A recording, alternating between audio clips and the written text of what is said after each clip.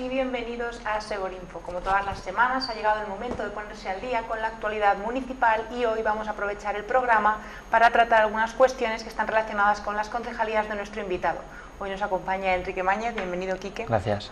Vamos a empezar hablando de educación porque el curso escolar ya ha terminado y me gustaría que hicieses un balance de cómo ha ido el año y de las iniciativas que ha llevado a cabo el ayuntamiento en los colegios. Hmm.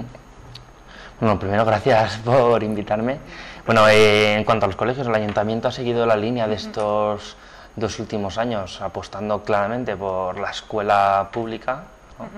Y en tanto a la escuela pública hemos realizado bueno, hemos varias subvenciones, hemos subvencionado a la AMPA, por ejemplo, del Pintor Camarón, creo que ha sido 13.000 euros, a las AMPA de los institutos del IES Alto, del IES Alto Palancia y del IES Cueva Santa bueno, y al propio Colegio Público Pintor Camarón.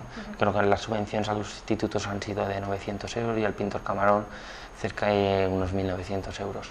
Creo que han sido esas las principales subvenciones. Bueno, luego aparte con ellos siempre nos gusta trabajar, la brigada saben que está siempre a su disposición.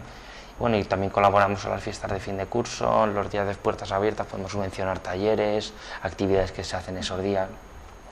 Por otra parte, también decir que en el tema de, bueno, del Colegio Público Pintor Camarón, el Ayuntamiento, tanto el Ayuntamiento como Consellería, este año estamos apostando fuerte por, por renovar varias instalaciones que tiene que ya no, que por diversas cosas ya no están a la altura, ya no cumplen los requisitos.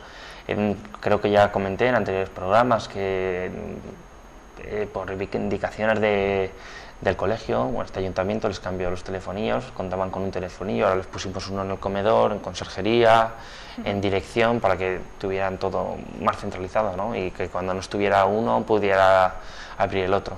También hay que decir que también arreglamos los telefonillos del, del colegio Pintor Camarón Infantil, que estaban estropeados.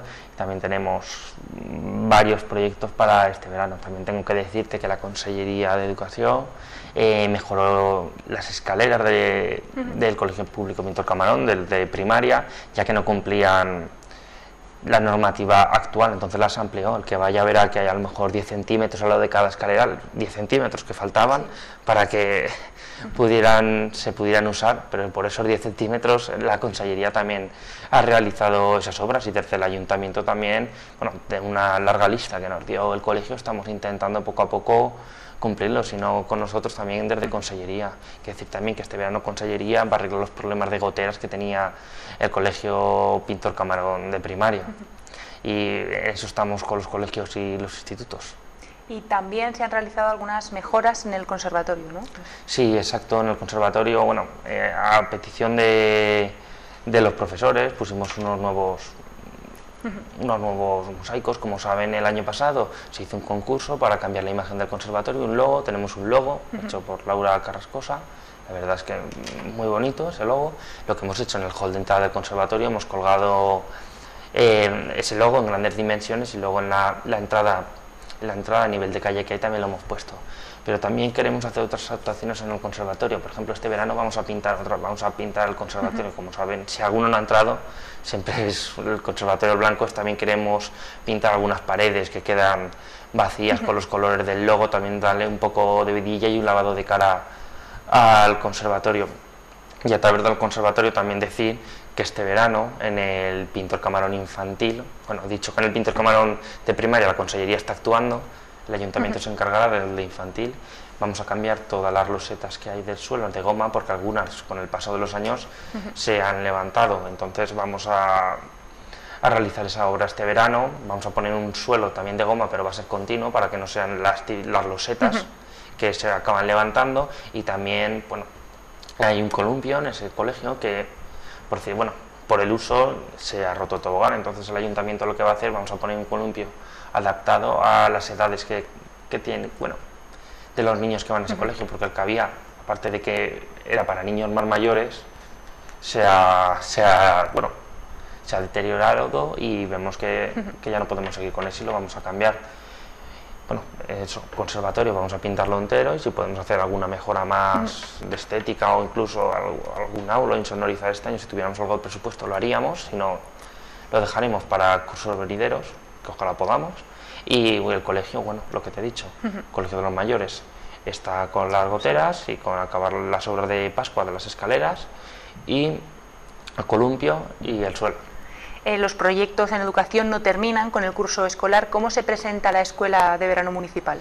Sí, claro, eh, bueno, hay que decir que este ayuntamiento también colabora con, con la escuela de verano que hace el Pintor Camarón. Le subvencionamos entradas a las piscinas, autobuses para desplazarse y también el propio ayuntamiento ofrece una escuela municipal de verano que se viene haciendo ya desde muchos años, verano divertido, verano deportivo, al fin y al cabo es un poco lo mismo, enfocado para todos. Este año la oferta, bueno, se coordina más desde la Concejalía de Deportes, aunque digamos que el capital proviene de la Concejalía de, de Juventud y de Educación eh, está destinado para niños de 3 a 16 años.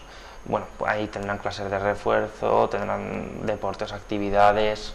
Yo creo que es un buen plan para, para los niños, ¿no? Y sobre todo para los padres, que ya que en verano no hay colegio, que puedan dejar a los niños allí, además a un precio que no está nada mal, tanto la escuela de Lampa del Pintor Camarón como la escuela municipal que hace el ayuntamiento.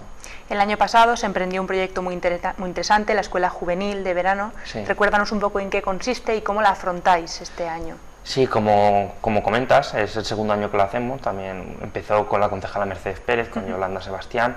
Ahora yo como encargado de educación creo que fue un muy, muy, muy buen proyecto y que continúa. Hay que decir que la escuela en lo que consiste es, eh, para explicarlo un poquito, a través de servicios sociales, determinados niños vemos que tienen carencias, tanto a la hora de poder entrar a una escuela de verano convencional y además que necesitan también un poco de refuerzo educativo también y formación en cuanto a habilidades sociales.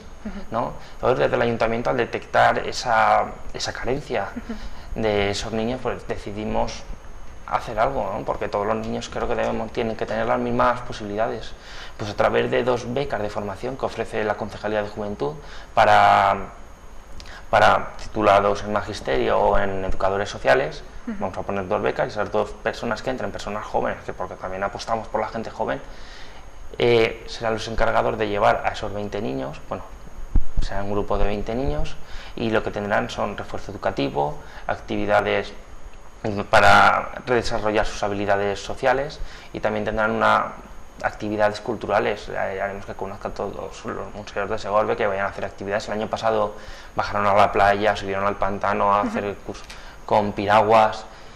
Y hay que decir que la experiencia del año pasado salió, la verdad es que muy bien. Muchos de esos niños este año no van a repetir porque adquirieron esas habilidades sociales y también hemos detectado que durante todo este año el refuerzo educativo que se les dio ha funcionado. Vemos que sus resultados académicos han mejorado, por lo tanto yo creo que es una cosa que no debemos perder y hay que apostar por ella. También hay que decir que el año pasado esos niños tenían que pagar 30 euros, que es lo que costaba, este año es totalmente gratuito. Continuaremos con los dos monitores que del ayuntamiento, coordinados con las técnicos de servicios sociales y espero que este año vuelva a ser el mismo éxito del año pasado y que podamos hacer mucho bien a los niños que más lo necesitan.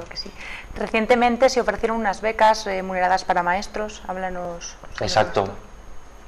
Eh, como he comentado, bueno, todos los años sabemos que el ayuntamiento suele sacar unas becas de formación para, para verano.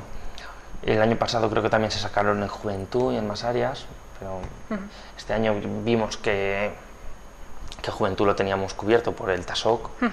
Este año las sacamos las dos en educación, que sí que nos hacen muchísimo papel a la hora de, como te digo, poder hacer una escuela juvenil municipal para, para que aprendan los niños y ellos también para formarse, ¿no? porque digamos que son unas primeras prácticas que ellos pueden, que tienen total libertad. Servicios sociales les darán unas pautas, pero ellos tienen total libertad a la hora de, del modo de enseñar. Hay que decir que esas dos, dos becas son que dos por dos meses.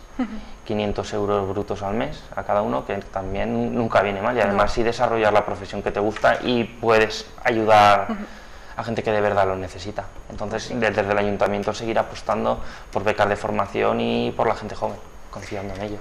Este año ha marcado un antes y un después en la Concejalía de Juventud, en tanto que se ha revitalizado. ¿Qué balancearías del trabajo realizado junto con el técnico de animación sociocultural? Sí, como dices, ha sido un antes y un después. Cuando entramos en el ayuntamiento, la verdad es que la Concejalía de Juventud estaba un poco abandonada a su suerte. ¿no? No, había sido un tema que preocupara, se habían hecho pequeñas acciones, pero sin ningún plan. Eh, tengo que decir que Mario, el TASOC, eh, nos ha hecho un plan local de juventud para estos dos años, 2018-2019, son planes de dos años, que hemos empezado a sembrar eh, en los institutos, en los colegios, que nuestro plan de la juventud se ha dado a conocer, que tenemos actividades mensuales que puede, cualquiera puede ir allí a la puerta del aula y verlo. Yo creo que ha sido un antes y un después, como comenté también hicimos un carnaval, hemos hecho varias cosas, hemos hecho excursiones con los niños del aula.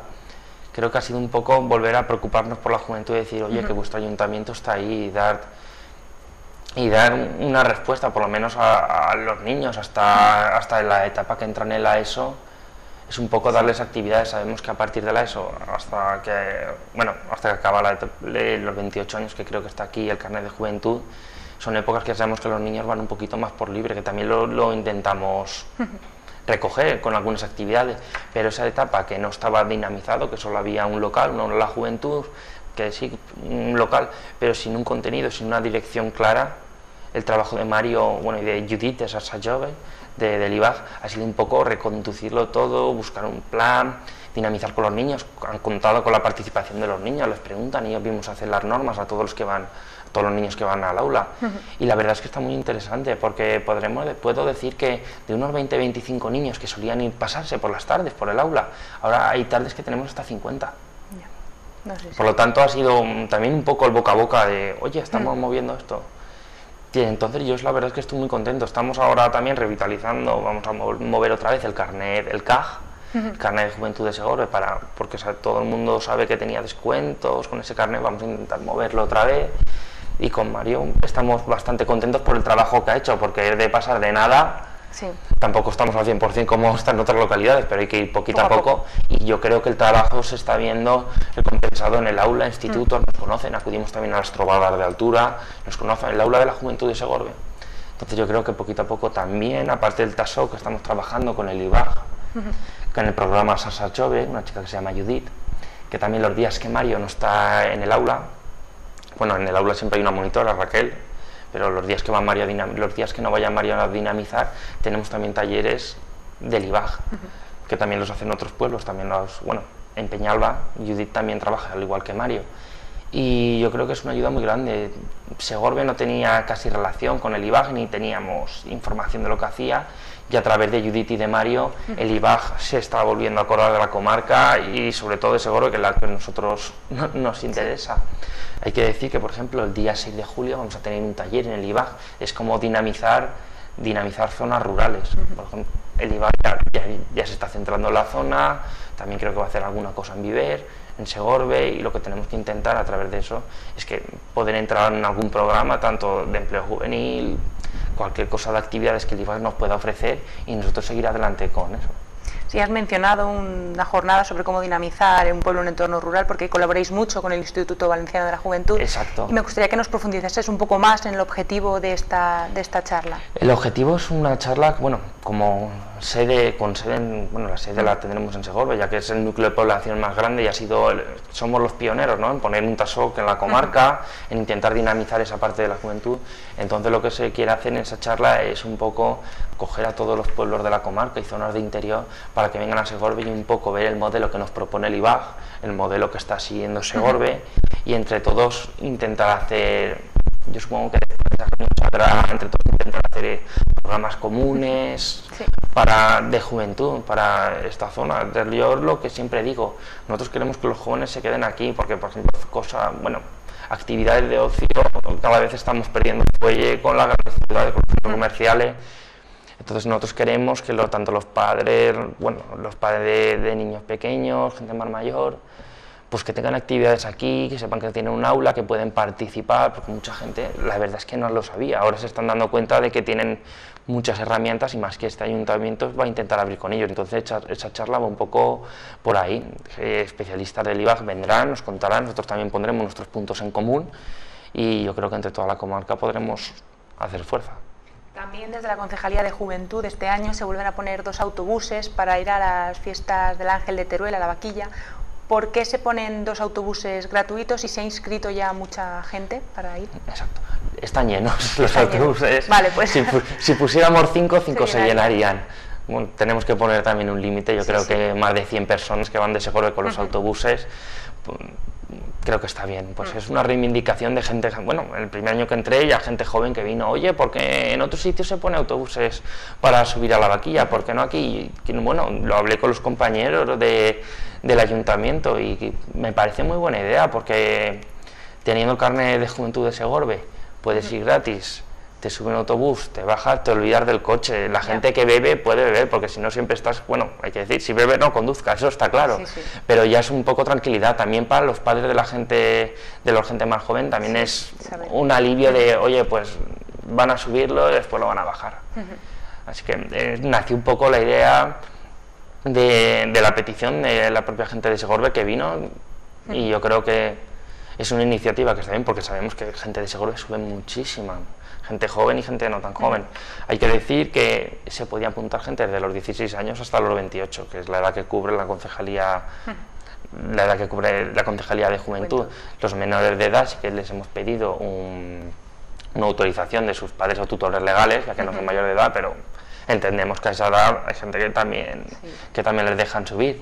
Y como te digo, Em, esta mañana esta mañana ya me han llamado de la oficina de turismo, que es de donde apuntan, y me han dicho, Quique, que tenemos hasta 20 personas en cola. Y digo, uy, por favor.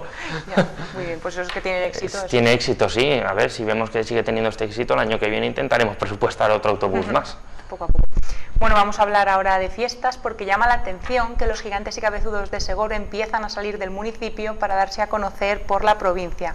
Cuéntanos cómo han sido las últimas experiencias que habéis tenido fuera de Segorbe. Sí, exacto. No conocíamos el mundo de los gigantes y cabezudos hasta que de, verdad nos hemos interesado por él. Hemos escuchado la asociación. Bueno, hay que decir que la asociación ha ayudado mucho, nosotros, que, bueno, nos ha abierto los ojos a ver que hay un mundo también de relaciones, como tenemos con las reinas de las fiestas, ¿no? De todos los pueblos, que hay muchísima tradición en la provincia, tanto la provincia de Castellón, la de Valencia, la de, la de Teruel, incluso hemos conocido otras agrupaciones de, la provincia de Lleida, que vemos que están muy arraigados. Y la verdad es que llama la atención porque los gigantes de Segorbe son los más grandes, que van a todos los sitios, son súper grandes, es que hay que decirlo así. Los gigantes se bailan muy fácil, pero ven a los gigantes de Segorbe, a los llevadores, y se quedan un poco con la curiosidad de, madre mía, ¿cómo podéis levantar esto? ¿No? Pues sí, eh, la semana pasada fuimos a la trovada de Moncofa y la verdad es que estuvo muy muy bien. Además que van a otros ayuntamientos, también podemos relacionar y ver las collas de gigantes y cabezudos. Y yo creo que es una cosa que debemos apostar por ello. Porque también nosotros haciendo visitas a esos pueblos, ¿no? luego ellos pueden venir aquí a Segoro y ver que tenemos unos gigantes antiguos, unos gigantes nuevos que ya tiene sus años, pero a ver que está nuevo. Yo creo que también es una cosa que puede influir en el turismo y que yo creo que no sabíamos lo que teníamos hasta ahora, porque es una cosa que de verdad que la gente lo valora y lo ve. Y bueno, próximas salidas, ya tenemos también concertado el día, bueno, este sábado, los gigantes irán a, a Vinaroz. Y en septiembre también tenemos otra visita en Menicasim, esto no para, ya hemos ido a Burriana. Poquito a poco y hemos lanzándolo. También hay que decir que hay una bolsa de, llevadores, que todo aquel que se quiera apuntar, que por favor, que no lo dude, que es una experiencia muy bonita y que adelante el ayuntamiento va a estar con los, con los gigantes, con los cabezudos. También me han comentado mucha gente, si algún cabezudo está, está más viejo, bueno, por el uso, todo, pues a lo mejor hasta nos podemos plantear hacer algún cabezudo nuevo o, alguno cambiar la ropa. Vamos a apostar claramente por eso porque yo creo que puede ser un recurso turístico para ese gordo muy, muy importante. Pues sí. Has mencionado antes a las reinas de las fiestas y es que ellas también están teniendo unas semanas llenas de actividades. Cuéntanos un poco los últimos pueblos que habéis visitado y cómo ha sido ese trabajo que realizáis hablando de Segorbe. Exacto, bueno, eh, lo último, bueno, el último pueblo que han estado, estuvieron en Alquerías y ahora ha tocado Les Fogueres de San Joan, en Alicante. ¿no? Hace, creo que hace dos años las reinas ya no bajaban, pero nosotros hemos vuelto a retomar la relación con la Federación de Fogueres. La verdad es que estuvimos tres días en Alicante muy, muy bien tratados. Como siempre, Segorbe tiene mucho nombre cuando salimos, cuando salimos de, de casa y hay que decir que de la provincia de Castellón solo estaba Castellón, Castellón capital, Fiesta de la Magdalena, Burriana, Segorbe y poquito más. Había estamos muy bien valorados. La verdad es que para las reinas es una experiencia única, porque ellas han estado en las fallas, pero eh, ellas al principio pensaban que, era, que sería parecido a fallas, pero luego lo ven y dicen que es, un ambiente totalmente distinto, aunque fondo, hogueras, es totalmente distinto, les ha gustado muchísimo, participaron en, las ofrendas de la, de la, Virgen del Remedio y luego estuvieron en las mascletas, se entrevistaron desde Mediterráneo TV, alguna radio y dan a conocer el nombre de Segorbe, son embajadoras del turismo de Segorbe, ¿no? Porque ellas siempre que van, siempre que conocen a una persona nueva, oye, ¿de dónde sois? De Segorbe, y ellas enseguida, o me llaman a mí, no, sé qué, el Quique, dales un pin, les damos el pin, si siempre nos llevamos a lo mejor panfletos y los repartimos. la verdad es que la gente está muy contenta y ellas también. Han pasado unos días, la verdad es que yo creo que muy buenos en Alicante y es un recuerdo para ellas que que no se les va a olvidar. Pasaron muchísimo calor, también tengo que decirlo. Pues, las pobres vestidas, vestidas de regional a, la hora de comer por la tarde a treinta y tantos grados. Yo también en algún rato les dije a la playa y por lo menos refrescaron. Pues sí. Pero no hay que decir que es un trabajo para ellas también es muy duro, bueno, y para los que las acompañamos también hay que decirlo, yo tengo siete concejalías, pero aún así, con las reinas y todo el día con el teléfono resolviendo todos los asuntos que se puedan ir llevando el nombre de Segorbe lo más lejos posible. Pues sí. Bueno, y no podemos terminar, Quique, sin hablar de las fiestas y los festejos taurinos de este 2017. ¿Cómo van esos preparativos para las dos grandes semanas de Segorbe? ya estamos a dos meses de la presentación. La verdad es que va muy bien. El libro de fiesta yo podría decir que está cerrado un 80%. 80%. Podría falta hablar con alguna que otra asociación. La semana de fiesta, pero la semana de toros prácticamente, la ya lo comenté Estamos, eh, estamos teniendo reuniones con las peñas taurinas para ver si, si hacen los habituales todos los que hacen todos los años y con las asociaciones también estamos hablando con las que nos faltan. Pero hay que decir que el libro está muy avanzado, tenemos los artículos, eh, esta semana tenemos las fotos con las cortes, para ir cerrándolo, cerrándolo todo en cuanto a contrataciones. Está todo contra todo. Desde hace ya varios meses. Yo siempre voy con mucho tiempo pues porque luego Ahora en verano tenemos muchísimo trabajo de, prepararlo, así que las contrataciones se, preparan. Y luego está el tema de la comisión de toros, ¿no? que es el tema estrella de este año, el de, la ofrenda.